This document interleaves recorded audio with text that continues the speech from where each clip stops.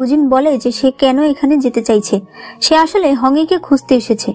কিন্তু ওই ড্রাগন খোঁজ নিয়ে বলে, এখানে নয় লেজওয়ালা কোনো শিয়াল নেই। অর্থাৎ এখানে হংই নেই। তারা তখন ভাবতে থাকে, তাহলে হংই কোথায় গেল? এরপর গুজিন সেই ড্রাগনকে বলে দেয় যে সে সেখানে কেন যেতে চায়।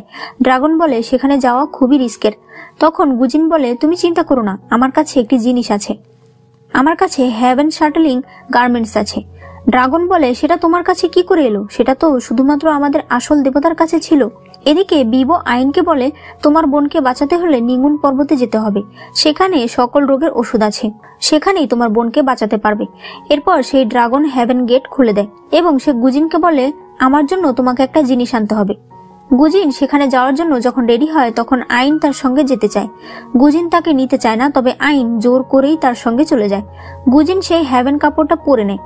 আর আইনকে ধরে রাখে। এতে তারা দুজনেই অদৃশ্য হয়ে যায়, আর এরপর তারা সেই গাছের কাছেও যায়। সেখানে যাওয়ার পর গুজিন সেই স্পিরিটের অংশ পেয়ে যায়। তখন গুজিন বলে, ওই ড্রাগন আমাকে এই গাছটার হার্ট নিয়ে যেতে বলেছে। আইন বলে, ঠিক আছে, তুমি হার্ট বের করো, আমি চারদিকটা ঘুরে দেখি। তখন সে সেখানে নাইন টেল ফক্স, অর্থাৎ হঙ্গিকে দেখতে পায়। হঙ্গিকে সে নিজের পাওয়ার দিয়ে কিছুটা ঠিক করে। যখনই গুজিন সে গাছের হার্ট বের করে নেয়, তখন সেই গাছের সকল শক্তি চলে যায়। চারদিকে ডেমনিক লতাপাতা তাদের উপরে আক্রমণ করতে থাকে। গুজিন আইনকে তার পোশাকটা দিয়ে দেয়। আইন হঙ্গিকে লুকিয়ে ফেলে। এরপর তারা দুজন যখন চলে আসছিল, তখন সেখানে কিংলিন চলে আসে। সে তাদের দেখতে পায় না ঠিকই, তবে বুঝতে পারে এখানে কেউ আছে। এদিকে সেই ওয়াটার বিস্ট বিবো ড্রাগনকে এসে বলে, ওরা কোথায় গেছে? আর তুমি এই দরজা কেন খুলেছ? ওদের যদি কিছু হয়ে যায়? ড্রাগন বলে, ও সাধারণ একটা শিষ্য। ওর কিছু হলে আমার কি? বিবো বলে, তুমি কি পাগল? ও হলো আমাদের আসল দেবতার ছেলে। ড্রাগন তখন পুরোপুরি ভয় পেয়ে যায়। এদিকে আইন যখন ফাইট করছিল, তখন আইন বলে, তুমি তোমার আমব্রেলা বের করো। গুজিন বলে, এই সামান্য কাজে আমব্রেলা বের করার দরকার নেই। আসলে তার কাছে তো আমব্রেলাই নেই। আইন বারবার তাকে বলতে থাকে, তুমি আমব্রেলা বের করো। তখন তাদের উপর অ্যাটাক হলে তারা নিচে পড়ে যায়। গুজিনের কাছে ছোট তলোয়ারটি ছিল। তার উপরে তার রক্ত পড়লে সেটা বড় হয়ে যায়। এরপর তারা আবারও সেটা দিয়ে ফাইট করে এগোতে থাকে। তখন নাইনটেল ফক্স বড় হয়ে যায় এবং সে তাদেরকে নিজের পিঠে করে যখন নিয়ে আসছিল, তখন তারা দুজন নিচে পড়ে যায়। আইন বলে, তুমি আমাকে সত্যি করে বলো, তুমি তোমার আমব্রেলা হুয়াশুকে দিয়ে দিয়েছ, তাই না? কিন্তু গুজিন এটা কিছুতেই স্বীকার করে না।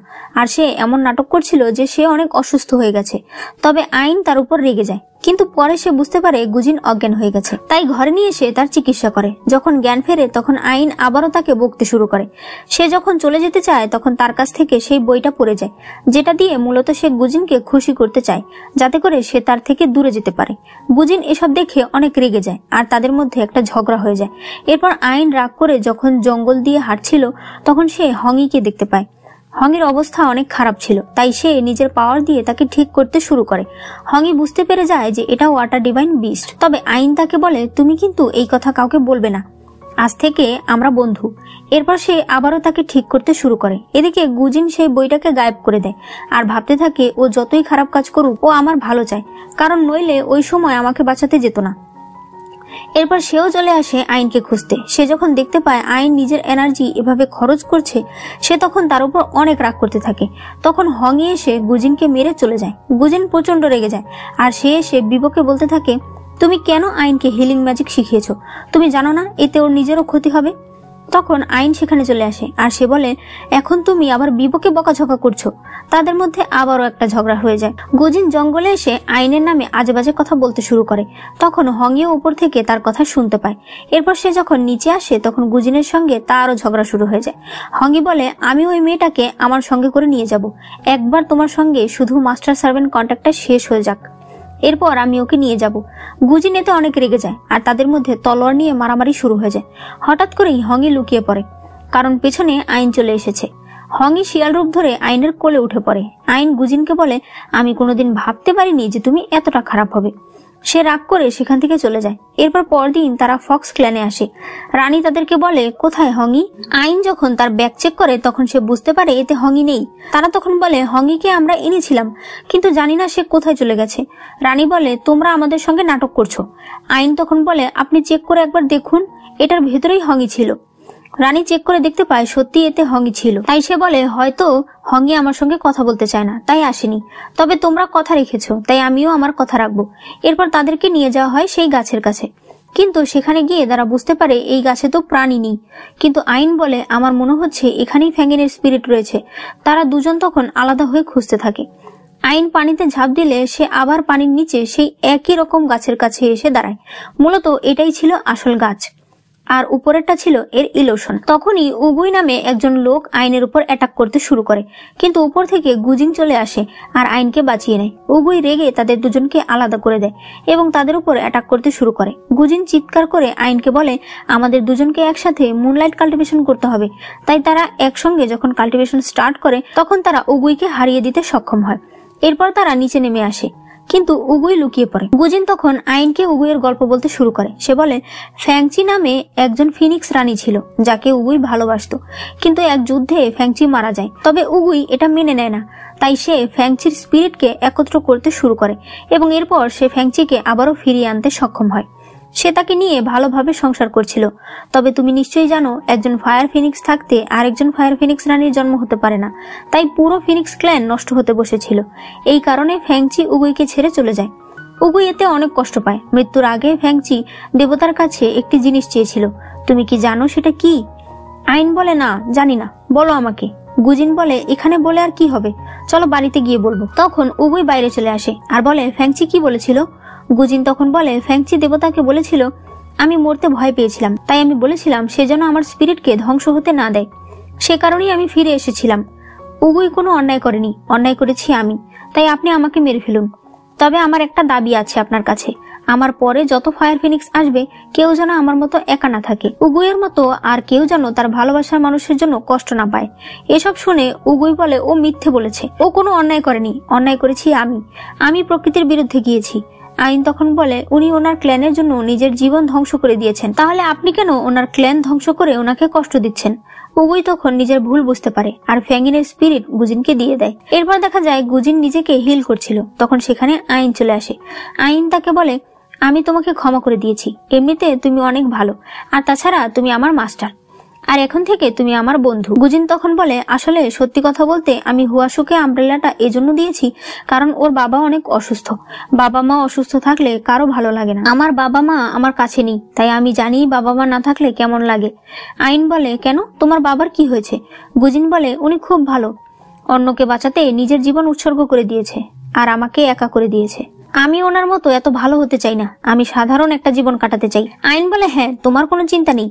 তুমি তোমার মনের মতো জীবন কাটাবে। দাজি পর্বতের সবাই আছে তোমার সঙ্গে।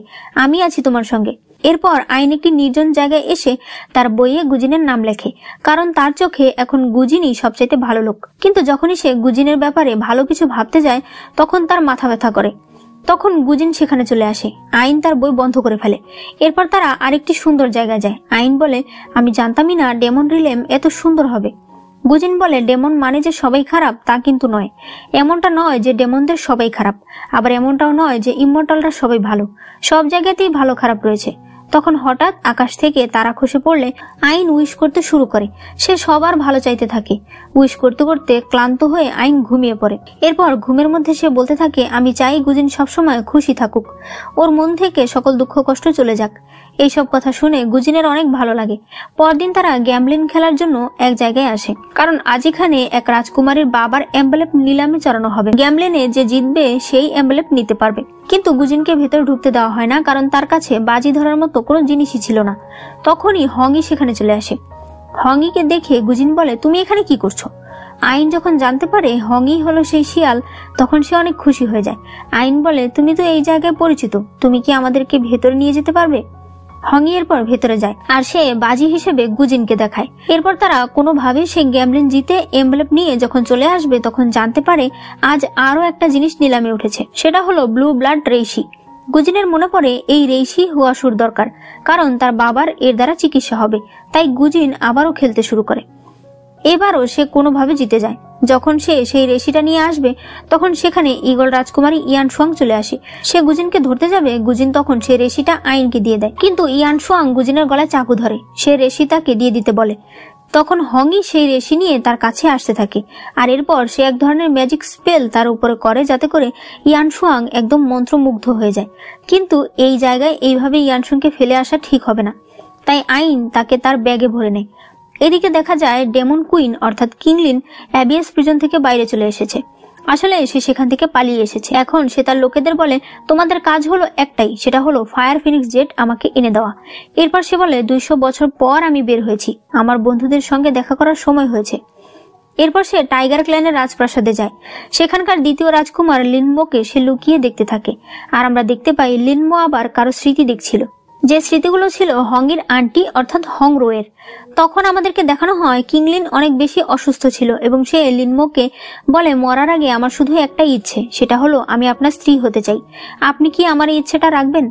কিন্তু লিনমো তখন হংরোকে পছন্দ করত, তবে কিংলিনের শেষ ইচ্ছে দেখে সে তাকে বিয়ে করতে রাজি হয়। এই কথা যখন হংরো জানতে পারে, তখন সে প্রচণ্ড রেগে যায়, আর লিনমোর সঙ্গে সকল সম্পর্ক ভেঙে ফেলে। কিংলিন যখন দেখতে পায় আজও লিনমো শুধু হংরোকে মিস করে, তখন সে অনেক রেগে যায় আর সেখান থেকে চলে যায়। অন্যদিকে আমরা হংরোকে দেখতে পাই, যে মনে করতে থাকে, অনেক আগে কিংলিনের আত্মা হংরোয়ের কাছে এসেছিল।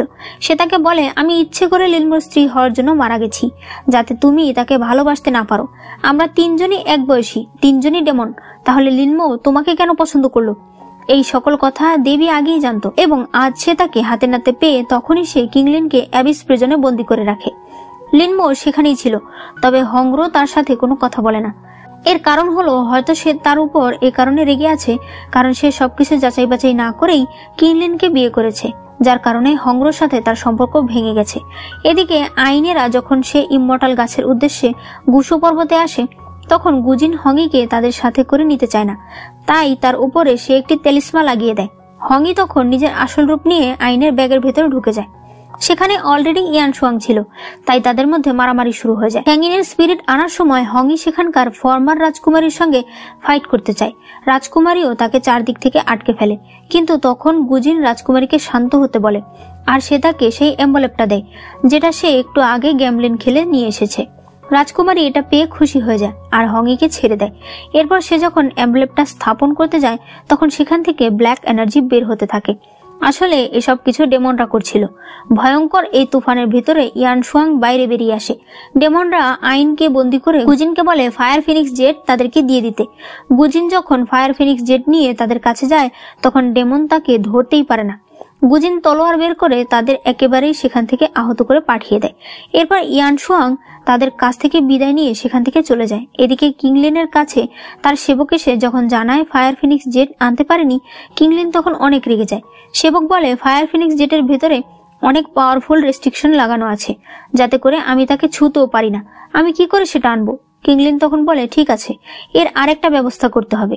সে তখন বলতে থাকে তারা যখন হংইকে বাঁচিয়েছিল, তখন আমি তার শরীরে সে বিষাক্ত গাছের বীজ দিয়ে দিয়েছিলাম। তার শরীর যখনই দুর্বল হয়ে যাবে, তখন আমি তার শরীরে ঢুকে যাব আর এরপর তাকে দিয়ে আমার কাজ সম্পন্ন করব। এদিকে হংই ফল আনতে যখন একা যাচ্ছিল, তখন কিংলিন তার উপর আক্রমণ করতে চায়, কিন্তু ওই সময় হংরো সেখানে চলে আসে। হংরো হংইকে বলে, বাড়ি ফিরে চলো। কিন্তু হংই তার সাথে যেতে রাজি হয় না। হংরো তখন তার নিজের পাওয়ার দিয়ে তাকে যখন আটকে ফেলতে চায়, তখন সে বুঝতে পারে হংয়ের ভেতরে ডেভিল বীজ রয়েছে। সে তখন নিজের প্রোটেকশনের সবচেয়ে দামি জিনিসটা হংইকে দিয়ে দেয়, যেটা ছিল একটি চন্দনের ব্রেসলেট। এরপর হংইকে বলে, এবার তোমার যেখানে যেতে ইচ্ছে হয়, তুমি যাও। এরপর দেখা যায় সেই ডেমনিক বীজ আসলে হংরো নিজের শরীরে নিয়ে নিয়েছে। অন্যদিকে কিংলিন এখন প্ল্যানিং করতে থাকে যে সে হংরোর শরীরের ভেতরে যাবে। এদিকে গুজিন, আইন, হংই দাজি পর্বতে চলে আসে। কারণ হংই অসুস্থ ছিল, তাই তাকে সুস্থ করার জন্য আইন তাকে সাথে করে দাজি পর্বতে নিয়ে এসেছে। তারা একসঙ্গে যখন খাবার খাচ্ছিল, তখন গুজিন হুয়াশুর কথাই বলছিল। এতে আইনের মন খারাপ হয়ে যায়, আর সে বাইরে চলে আসে। বাইরে কিংয়ের সঙ্গে তার দেখা হয়। কিংইও আইনকে বলে, গুজিন আঙ্কেল, একসময় হুয়াশুকে বিয়ে করবে। এই কথা শুনে আইন রাগ করে সেখান থেকে চলে যায়। তখন হংই শিয়ালের রূপ ধরে কিংইকে ভয় দেখায়, আর তাকে বলে, বলো যে হুয়াশু দেখতে খুবই খারাপ। আর আইন এখানকার সবচেয়ে সুন্দরী মেয়ে। তখন আইন সেখানে চলে আসে। সে হংইকে বকতে শুরু করে যে সে কেন কিংইকে ভয় দেখাচ্ছে। এরপর আইন হংইকে নিজের পাওয়ার দিয়ে ঠিক করতে শুরু করে। তখন গুজিন তাকে অনেক না করতে থাকে। হংই তাকে বলে, আইনকে সুস্থ করার একটা জিনিস আছে, যেটা আইনের স্পিরিচুয়াল পাওয়ারকে আরও মজবুত করবে। সেটা হলো ইয়ান ফায়ার ইয়াং আইস। এদিকে কিংই আর একজন মাস্টার যখন যাচ্ছিল, তখন হঠাৎ মাস্টার বলে, আমাকে একটু পৃথিবীতে যেতে হবে। কিছু বই আনার জন্য। সে যখন পৃথিবীতে যায়, তখন দেখতে পায় ওয়ানিউ নামে একটি মেয়েকে কিছু লোকেরা বুলি করছে। সে তাকে বাঁচায়। এতে খুশি হয়ে মেয়েটি তার জন্য রান্না করে, তার পোশাক সেলাই করে দেয়। এসব দেখে মাস্টারের মেয়েটাকে অনেক ভালো লাগে। অন্যদিকে গুজিন জানতে পারে তাদের এখানে একটি কম্পিটিশন হতে চলেছে, যে কম্পিটিশনে জিততে পারলে পুরস্কার হিসেবে ইয়ান ফায়ার ইয়াং আইস দেওয়া হবে। তাই সে সেই কম্পিটিশনে নাম দিতে চায়। এদিকে আমরা ফ্যাংমিংকে দেখতে পাই, যে আসলে কিছুতেই চাইছিল না যে ফ্যাংইন ফিরে আসুক। তখন সেখানেই কিংলিনের সেবক চলে আসে। তাদের কথায় আমরা বুঝতে পারি, তারা আগে থেকেই মিলিত হয়ে আছে। সেবক তাকে একটি অস্ত্র দেয়, যার সাহায্যে সে ফায়ার ফিনিক্স জেট খুঁজে পাবে এবং সেটাকে নিজের হাতে নিতে পারবে।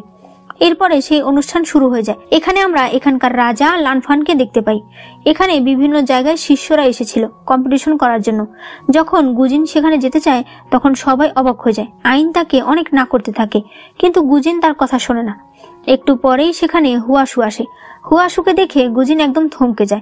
আইন মনে করে গুজিন হয়তো হুয়াশুর কাছে হিরো সাজার জন্য এই কম্পিটিশন করতে চাইছে। এরপরে কম্পিটিশন শুরু হয়ে যায়, যেখানে একটি পাখি মুক্ত করা হয় যেটা কিনা বজ্রপাতের উৎপত্তি করে। তাদের কাজ হলো এই পাখিকে হারাতে হবে। তারা সবাই যখন পাখিটাকে হারাতে ব্যস্ত ছিল, তখন রাজা লানফান হুয়াশুর কাছে আসে। সে তাকে বলে, আমি শুনেছি তুমি নাকি অসুস্থ, তাহলে আজ না আসলেও পারতে। হুয়াশু বলে, আমি আমার দায়িত্ব সবসময় পালন করি। তখন তার কাছ থেকে একটি ছোট্ট ব্যাগ পড়ে যায়। মহারাজ সেই ব্যাগটাকে হাতে নিলে তার মনে পড়ে, একদিন হুয়াশু অনেক কান্না করছিল। তখন মহারাজ লানফান তার কাছে আসে এবং তার মন ভালো করার জন্য সে তাকে এই ছোট্ট ব্যাগটা দিয়েছিল, যার ভেতরে সে তারাদের বন্দি করে রেখেছিল। হুয়াশু এখনও নিজের কাছে এই ব্যাগটা রাখে দেখে লানফান অনেক খুশি হয়ে যায়। গুজিন অনেক কষ্টে সে পাখিটাকে হারানোর চেষ্টা করছিল, তবে সে যখন পুরোপুরি ঘায়েল হয়ে যায়, তখন তাকে বাঁচাতে আইন সেখানে চলে আসে। আর তারা দুজন মিলে সেই পাখিটাকে প্রতিহত করতে সফল হয়। সে যখন নিচে আসে, তখন হুয়াশু উপহার দিতে চায়। তবে গুজিন বলে, আমি এই পুরস্কারের আশায় এই কম্পিটিশনে অংশ নিইনি। এরপরেই সে অজ্ঞান হয়ে যায়। আর যখন জ্ঞান ফেরে, তখন সে সামনে আইনকে দেখতে পায়। আইন তাকে বলতে থাকে, হুয়াশুকে ইমপ্রেস করার জন্য এত কষ্ট করার কোনো প্রয়োজনই ছিল না। গুজিন তখন তাকে দেখা সে আসলে এই কম্পিটিশনে কেন অংশ নিয়েছে। সে তাকে সেই ইয়ান ফায়ার ইয়াং আইসটা দিয়ে দেয়। আইনের পর একা বসে ভাবতে থাকে গুজিন তাকে অনেক কেয়ার করে। তবে হয়তো মন থেকে সে হুয়াশুকে ভালোবাসে। তাই তার উচিত গুজিনকে হুয়াশুকে পেতে সাহায্য করা।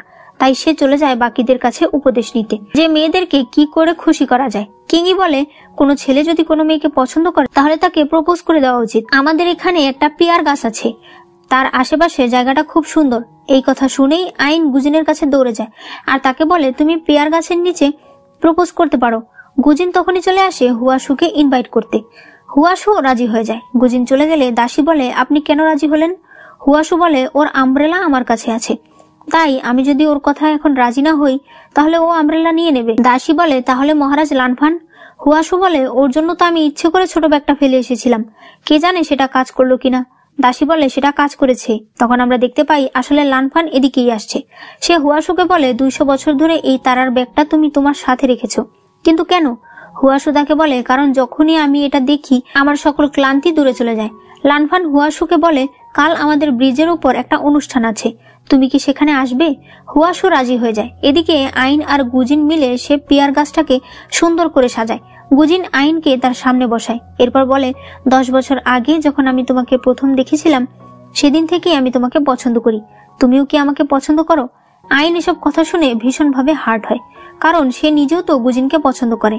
আর মাস্টার সার্ভেন্ট কন্ট্যাক্টের কারণে তার মাথা অত্যন্ত ব্যথা করতে থাকে। তাই সে কোনোভাবে সেখান থেকে পালিয়ে আসে। প্রাসাদে আসতেই কিংয়ের সাথে তার দেখা হয় আর সে সেখানে অজ্ঞান হয়ে যায়। জ্ঞান ফিরলে মাস্টার তাকে বলে, তুমি অজ্ঞান হয়ে গিয়েছিলে মাস্টার সার্ভেন্ট কন্ট্যাক্টের জন্য। সত্যি করে বলো তো, তুমি কি গুজিনকে মারতে চেয়েছিলে? আইন বলে, না, একদমই না। মাস্টার বলে, তাহলে কি তুমি তাকে পছন্দ করো? আইন হাসতে শুরু করে। সে বলে, এটা কেমন কথা? এটা কি করে সম্ভব? মাস্টার বলে, ঠিক আছে, তাহলে অন্য কোনো সমস্যা হবে। এই বলে সে চলে যায়। কিন্তু হংই ঠিকই বুঝতে পারে যে আইন হয়তো গুজিনকে পছন্দ করে। এরপর আইন চলে আসে ব্রিজের উপর অনুষ্ঠান দেখার জন্য। সেখানে সে লানফান আর হুয়াশুকে একসাথে দেখতে পায়। লানফান হুয়াশুকে এখানে প্রপোজ করে। হুয়াশু বলে, আমাদের রাজ্যে এখন যুদ্ধ চলছে, তাই আমি এখন আপনাকে কিছু বলতে পারব না। লানফান বলে, ঠিক আছে, আমি অপেক্ষা করতে পারব। তবে আমি তোমার জন্য একটা উপহার তৈরি করেছি। সে যখন উপহারটা আনতে যায়, তখন আইন তার কাছে আসে। সে বলে, রাজকুমারী, আপনি এখানে কি করছেন? তাহলে গুজিনের সাথে কে? হুয়াশু বলে, সেটা দিয়ে তোমার কি দরকার? আমি কোথায় যাব না না যাব, সেটা আমি কোনো দাসীকে বলব না? আইন তখন বলে, আমি এখনই গিয়ে গুজিনকে বলছি। হুয়াশু তখন তার উপর একটি স্পেল করে দেয়, যাতে করে এইমাত্র যে হুয়াশুর সঙ্গে তার দেখা হয়েছে, সেটা সে ভুলে যাবে। এরপর আইনকে সে চলে যেতে বলে। এদিকে লানফান হুয়াশুকে একটি সুন্দর নেকলেস উপহার দেয়। এদিকে গুজিন সারা রাত ধরে শুধু হুয়াশুর জন্য অপেক্ষাই করতে থাকে। এরপর সে সেখানে ঘুমিয়ে পড়ে। সকাল হলেই হুয়াশু সেখানে আসে। সে বলে, আমাকে ক্ষমা করে দিন। আসলে কাল রাতে আমি অসুস্থ হয়ে গিয়েছিলাম, তাই আসতে পারিনি। গুজিন বলে, কি হয়েছিল আপনার? হুয়াশু বলে, কাল আমার হার্ট অ্যাটাক এসেছিল। এখন একটু সুস্থ আছি, তাই আপনাকে বলতে আসলাম। তখনই সেখানে আইন চলে আসে। আইন গুজিনকে বলে, উনি মিথ্যা কথা বলছে। কাল রাতে ওনার কিছুই হয়নি। উনি অনুষ্ঠানে ছিল, কিন্তু এরপরে সে আর কিছু মনে করতে পারে না। গুজিন জিজ্ঞেস করে, অনুষ্ঠানে ছিল, কার সাথে ছিল? কিন্তু আইন আর কিছু বলতেই পারে না। তখন হুয়াশু আইনের উপর রাগ দেখাতে থাকে। সে বলে, তুমি আমার নামে মিথ্যে আরোপ দিচ্ছ। আইন গুজিনকে বলে, তুমিও কি আমার কথা বিশ্বাস করছ না? ঠিক আছে, করার দরকার নেই। এরপর সে সেখান থেকে চলে যায়। গুজিন হুয়াশুকে বলে, হয়তো কোথাও ভুল হচ্ছে। কারণ আইন এরকম মেয়ে নয়, ও কখনোই মিথ্যে কথা বলে না। হুয়াশু বাড়িতে আসার পর ভাবতে থাকে, এই ছোট্ট একটা ইমমর্টাল বিস্টের জন্য আমাকে ঝামেলা পোহাতে হবে। তখন তার রাজ্য থেকে তার কাছে একটি খবর আসে। এদিকে দেখা যায় একজন মাস্টার যে কিনা পৃথিবীতে গিয়েছিল, সে আবার চলে এসেছে। এরপর তারা দুই মাস্টার মিলে গুজিনের জীবনযাত্রা দেখছিল। তখন তাদের সন্দেহ হয় যে গুজিন ধীরে ধীরে আইনের উপর দুর্বল হয়ে যাচ্ছে।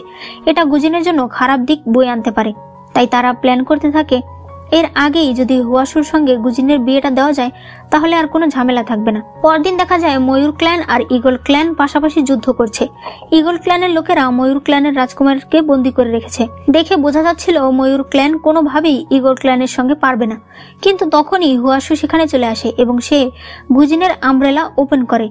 আর তার আমব্রেলা দেখে বোঝা যায় যে সে এটাকে রিফাইন করেছে। অর্থাৎ সে সেটার সঙ্গে নিজের পাওয়ার মিলিয়েছে, যার ফলে সে ইগল ক্ল্যানের এক একটা লোককে মারছিল। রাজকুমারী ইয়ান সুয়াং এটা সহ্য করতে পারে না। সে তখন তাদেরকে থামতে বলে। এরপর তাদের মধ্যে যুদ্ধ না হওয়ার একটি কন্ট্যাক্ট সাইন হয়।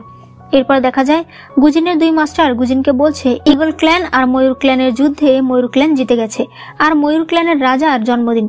তাই তুমি সেখানে যাবে। সেখানে গিয়ে তুমি হুয়াশুকে বিয়ের প্রস্তাব করবে। আর তাকে আমাদের পক্ষ থেকে এই মুকুটটা দিয়ে আসবে।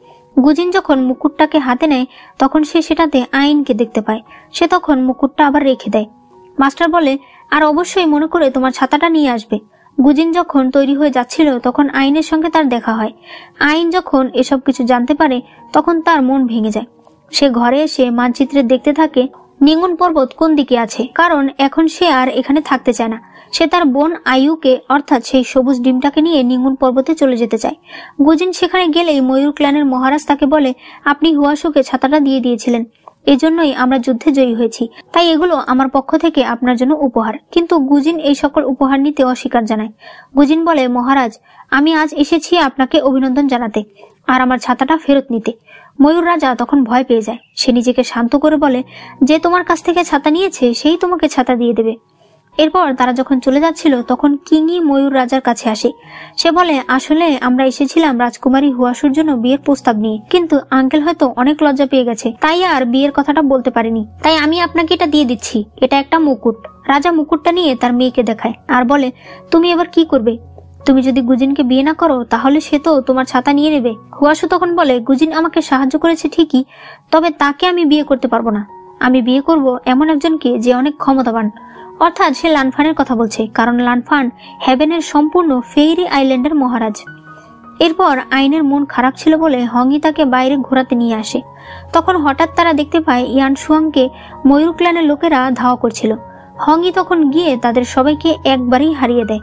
হংয়ের এই রূপ দেখে ইয়ান সুয়াং কিছুটা অবাক হয়। আইন জিজ্ঞেস করে, তোমার পিছনে ওরা কেন পড়ে আছে? তোমাদের তো যুদ্ধ শেষ হয়ে গেছে। ইয়ান সুয়াং বলে, ওরা আমাদের অনেক ক্ষতি করেছে। শুধুমাত্র গুজিনের কারণেই আজ ওরা জিতে গেছে। আইন তখন বলে, ওকে দোষ দিচ্ছ কেন? তোমরা যদি ময়ূর ক্ল্যানের কিছু অংশ নিজেদের না করতে চাইতে, তাহলে তো আর এই যুদ্ধ হতো না। ইয়ান সুয়াং বলে, তোমাদেরকে এই কথা কে বলেছে? ওদের ক্ল্যানে একটা জায়গা আছে, যেখান থেকে প্রায়ই আমাদের ক্ল্যানের লোকেরা হারিয়ে যায়। সেখানে কি হয়, সেই খোঁজ নেওয়ার জন্য আমরা ওদের ক্ল্যানের জায়গাটা সবাই মিলে চেক করতে চেয়েছিলাম। কিন্তু ওদের রাজা সেটা না করে দেয়। তাই আমরা যুদ্ধ করে সেই জায়গায় আমাদের লোকেদের খুঁজতে চাইছিলাম। তোমার যদি বিশ্বাস না হয়, তাহলে তুমি আমার সঙ্গে আমার রাজ্যে চলো। আমি তোমাদের সকল প্রমাণ দেখাবো। আইন রাজি হয়। কারণ সে কখনোই চায় না গুজিন একটা ভুল মেয়েকে বিয়ে করুক। এদিকে গুজিন যখন দাঁড়িয়ে কিছু ভাবছিল, তখন কি নিয়ে এসে বলে যে সে সেই মুকুটটা ময়ূর রাজার কাছে দিয়ে এসেছে। এটা শুনে গুজিন ভীষণ রাগ করে। তবে সে বলে, ঠিক আছে, তুমি চিন্তা করো না, আমি দেখছি কি করা যায়। দরকার পড়লে আমি হুয়াশুর কাছে ক্ষমা চাইব, তবে মুকুট ফিরিয়ে নিয়ে আসব। সে যখন বাইরে যায়, তখন দেখতে পায় মহারাজ লানফান আর হুয়াশু কথা বলছে। হুয়াশু বলে, মহারাজ, আমি আপনাকে বিয়ে করতে পারব না। কারণ গুজিন আমাকে যে আমরেলাটা দিয়েছে, তার জন্যই আমরা জিততে পেরেছি। এখন আমি যদি তার প্রপোজালে না করি, তাহলে সেটা খারাপ দেখায়। আর যদি সে জানতে পারে যে আমি আমব্রেলাটাকে রিফাইন করেছি, তাহলে সে হয়তো রেগেও যেতে পারে। তাই মহারাজ, আপনি আপনার নেকলেস ফিরিয়ে নিন। লানফান তখন তাকে জড়িয়ে ধরে। সে বলে, তুমি গুজিনের জন্য আমাকে বিয়ে করতে চাইছো না? আমি গুজিনকে সবকিছু বলব। এদিকে দেখা যায় আইন সবকিছু দেখার পরে তারা ডিসাইড করে তারা এখনই গুজিনকে গিয়ে সবকিছু বলে দেবে। তাই তারা তখনই ময়ূর ক্ল্যানের উদ্দেশ্যে বেরিয়ে পড়ে। এদিকে জন্মদিনের অনুষ্ঠানে হুয়াশুর বাবা হুয়াশুকে বলে, গুজিন তোমার সঙ্গে এঙ্গেজমেন্ট ভেঙে দিয়েছে, আর সেই আমব্রেলাও তোমাকে উপহার হিসেবে দিয়ে দিয়েছে। তাই তারা সেখানে গুজিনকে অনেক ধন্যবাদ জানায়। গুজিন তখন বলে, আমব্রেলা আমি নেব না, তবে সেই মুকুটটা আমাকে দিয়ে দিন, কারণ সেটা আমাদের দাজি পর্বতের একটা মূল্যবান জিনিস। এরপর লানফান বলে, আজ সবার উদ্দেশ্যে আমি কিছু কথা বলতে চাই। আমি হুয়াশুকে অনেক দিন থেকে পছন্দ করি, আর আজ আমি তাকে বিয়ের জন্য প্রপোজ করছি। গুজিন তখন বলে, আপনাদের দুজনকে একসঙ্গে অনেক ভালো লাগবে। আপনাদের দুজনকে অনেক অভিনন্দন। তখনই তারা শুনতে পায়, আইন চিৎকার করে বলছিল, দয়া করে এই ব্যারিয়ারটা খোলো তারা বাইরে আসলে হুয়াশু যখন ব্যারিয়ার খোলে, তখন তারা সবাই সেখানে আসে। সেখানে আইন জানতে পারে মহারাজের সঙ্গে হুয়াশুর বিয়ে ঠিক হয়েছে। তারা তিনজন তখন মহারাজকে অভিনন্দন জানায়। এরপর ইয়ান সুয়াং মহারাজকে বলে, তাদের যুদ্ধের আসল কারণ। তাদের রাজ্যের অনেক লোকই উধাও হয়ে গেছে এবং শেষবার তাদেরকে ময়ূর রাজ্যের একটি জায়গায় দেখা গেছে। তারা সেই জায়গাটাকে ইনভেস্টিগেট করতে চায়। সেই কারণে সে মহারাজের কাছে আপিল করে। গুজিন যখন এই কথা শুনতে পায়, তখন সে বলে, আপনাদের মধ্যে দশ বছরের যুদ্ধ না হওয়ার একটা কন্ট্যাক্ট হয়েছে। তবে আমি চাই এই কন্ট্যাক্ট হবে একশো বছরের, যাতে করে ভালো করে ইনভেস্টিগেশন করা যায়। ময়ূর রাজা তো কিছুতেই রাজি হচ্ছিল না, তবে গুজিন যখন রাগ দেখায়, তখন তারা রাজি হয়ে যায়। এরপর তারা যখন চলে আসছিল, তখন ইয়ান সুয়াং আইনকে তার ইগল আইস্টোন দেয়, যার সাহায্যে সে যে কোনো সময় ইয়ান সুয়াংকে ডাকতে পারবে। এর একটু পর হুয়াশু গুজিনকে আলাদাভাবে ডাকে। গুজিন বলে, এখন আর আমার, আপনার উপরে কোনো কথা নেই। আমি চাই আপনি ভালো থাকুন। আপনি শুধুমাত্র আমার আমব্রেলাটাকে ব্যবহার করেছেন। তারপরও আমি আপনাকে কিছু বলব না। আপনার বিয়ের জন্য অনেক অভিনন্দন এরপর সে চলে আসে। আসার সময় গুজিন মন খারাপ করে থাকে। সে ভাবতে থাকে, হুয়াশুর বিয়ে হয়ে যাচ্ছে, কিন্তু আমার একটুও খারাপ লাগেনি। বরং আমার তখন বেশি খারাপ লেগেছিল যখন আমি আইনকে কষ্ট দিয়েছিলাম। তার কথা আমি বিশ্বাস করিনি। সে ভাবতে থাকে, আইন খুশি হলে আমি খুশি হই। আইন কষ্ট পেলে আমি কষ্ট পাই। আমি কি তাকে পছন্দ করতে শুরু করেছি? তখন হংই বলে, ফায়ার ফিনিক্সের আরেকটা অংশ নেদার রেলেমে আছে। সেখানে যাওয়ার রাস্তা আমি জানি। তোমরা কি যাবে? তারা তখন কিঙিকে দাজি পর্বতে পাঠিয়ে দেয়, আর তারা চলে আসে নেদার রেলেমে। তারা যখন প্রাসাদের ভেতরে যেতে চায়, তখন সেখানকার সৈনিকরা বলে, মহারাজের সঙ্গে দেখা করতে হলে আপনাদের কিছু টেমপ্লেট কিনতে হবে। সেটা আপনারা সামনের মহল থেকে কিনতে পারবেন। এরপর তারা সেই সামনের মহলে যায়। সেখানে টেমপ্লেটের দাম দেখে তাদের মাথায় ঘুরে যায়, কারণ তাদের কাছে এত টাকা নেই। গুজিন বুঝতে পারে এখানে অন্য কেউ আছে। যে কিনা তাদেরকে লুকিয়ে দেখছে। সে তখন বলে, দয়া করে আপনি কি আমাদেরকে সাহায্য করতে পারেন? আমরা দাজি পর্বত থেকে এসেছি। তখন আমরা দেখতে পাই মহলের ভেতর থেকে শিউ ইয়ান বেরিয়ে এসেছে। সে বলে, তোমরা যখন আমাকে ডেকেছ, আমি যদি তোমাদেরকে সাহায্য করি, তাহলে আমাকেও কিছু দিতে হবে। এরপর গুজিন সেখানে নিজের পাওয়ার দিয়ে একটি স্পেল লাগায়। কিন্তু শিউয়ান খুব সহজেই সেটা ভেদ করে চলে আসে। বুজিন বুঝতে পারে না এত পাওয়ারফুল লোক এখানে কি করে আছে। সে যদি এত পাওয়ারফুল হয়ে থাকে তাহলে কেউ এর ব্যাপারে কি করে জানে না। শিউয়ান আইনকে বলে, তোমাকে আমার ভালো লেগেছে। তুমি কি এখানে থাকতে পারো? তুমি যা চাইবে আমি তোমাকে তাই দেব।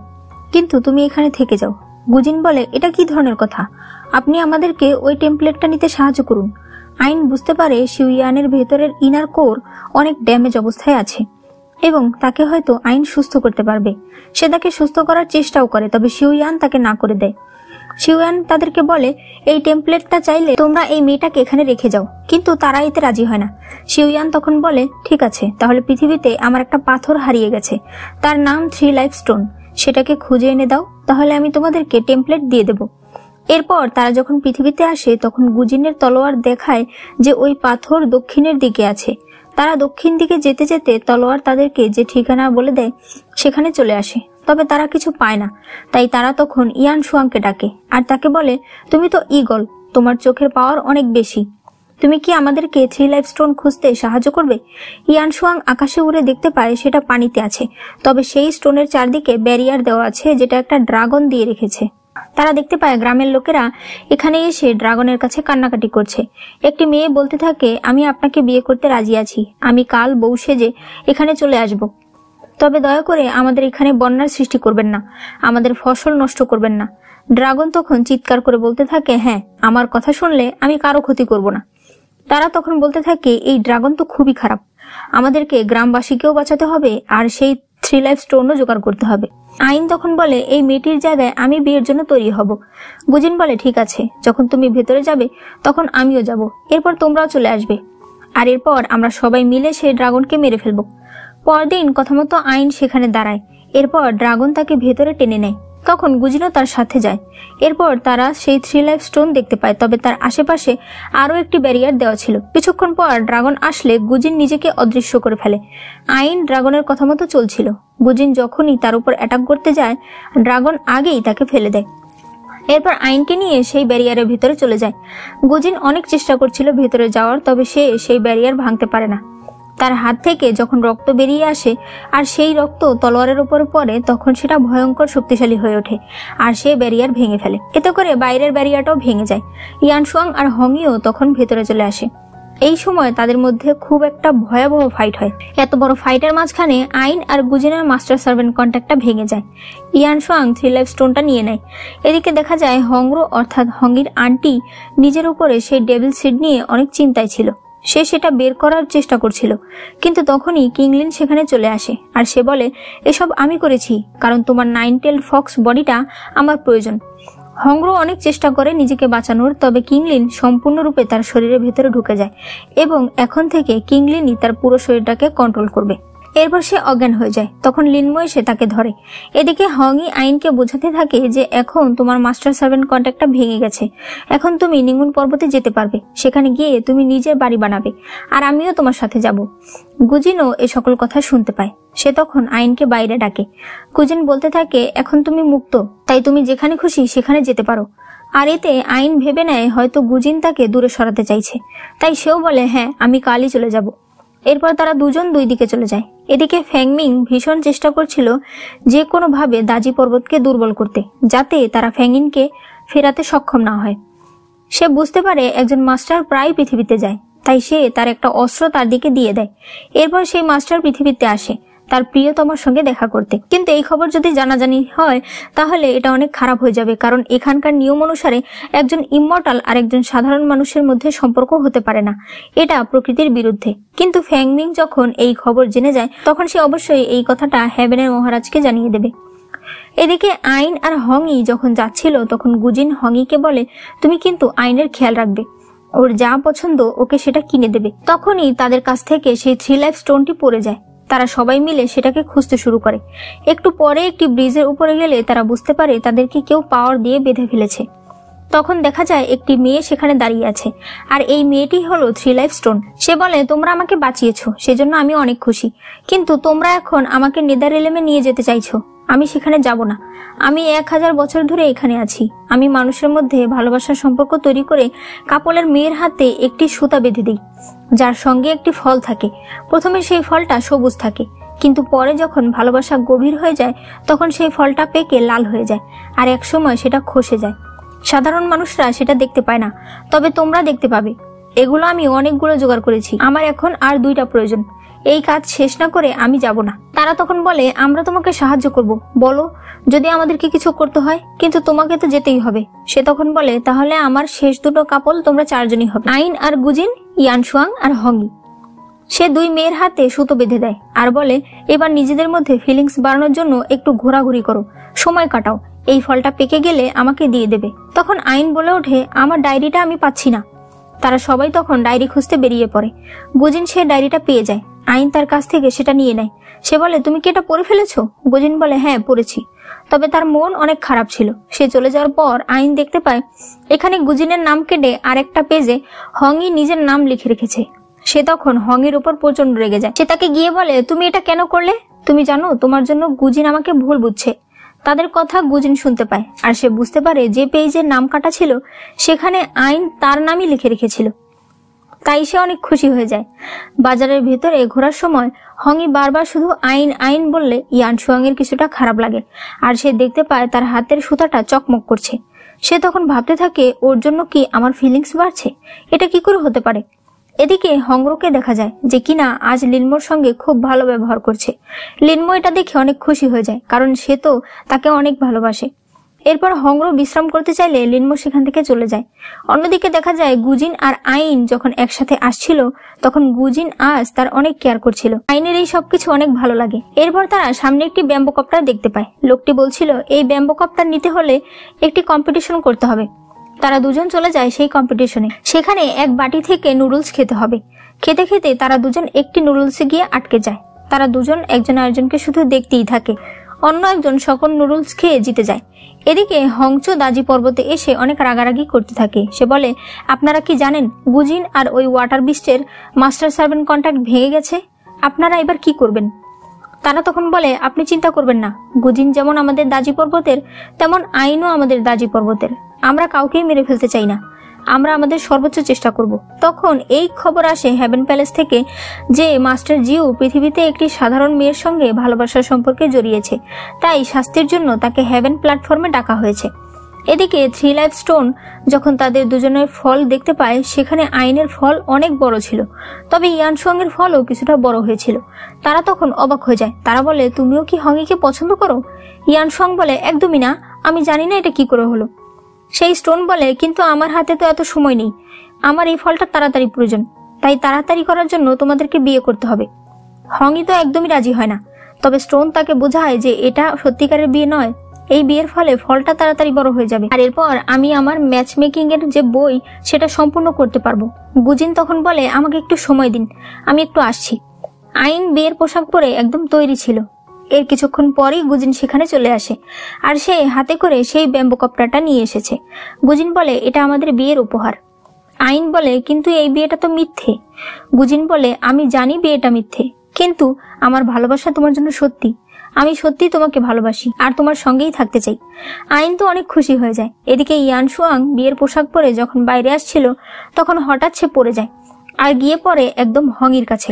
এমনকি তাদের দুজনের কিসও হয়ে যায়। তখন স্টোন এসে তাদেরকে বলে, আরে, তোমরা তো অনেক ফাস্ট ইয়ান সুয়াং বারবার বলতে থাকে, আমি ইচ্ছে করে করিনি।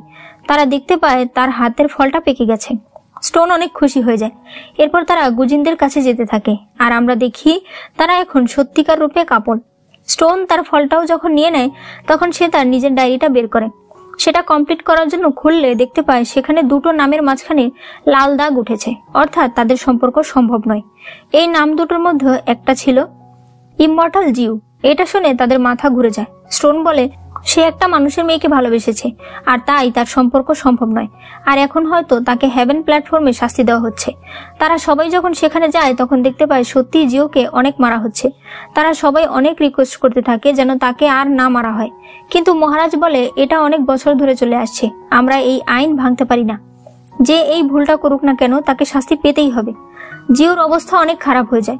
এরপর দেখা যায় মাস্টাররা আলোচনা করছিল জিওর স্পিরিট তার বডি থেকে আলাদা হয়ে গেছে। তাকে ঠিক করার জন্য একটা উপাদানের দরকার ছিল, যেটা ডেমন রিলেমে পাওয়া যায়। হংই তখন সেটা আনার জন্য তাদের ক্ল্যানে ফিরে যায়, কিন্তু তার আন্টি তাকে সরাসরি না করে দেয়। আন্টির এই রূপ দেখে হংই অনেক অবাক হয়।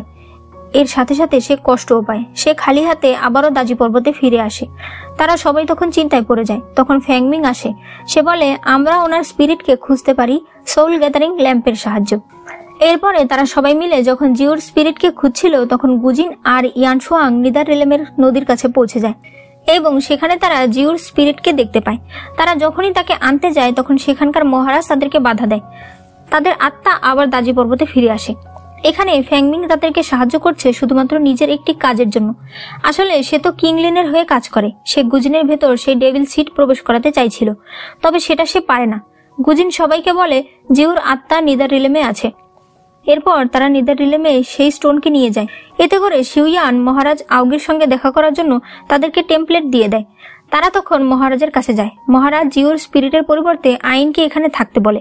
কিন্তু তখন স্টোন এসে তাকে বাধা দেয়। সে বলে, তারা টেমপ্লেট নিয়ে এসেছে। তাই আপনাকে তাকে সাহায্য করতেই হবে।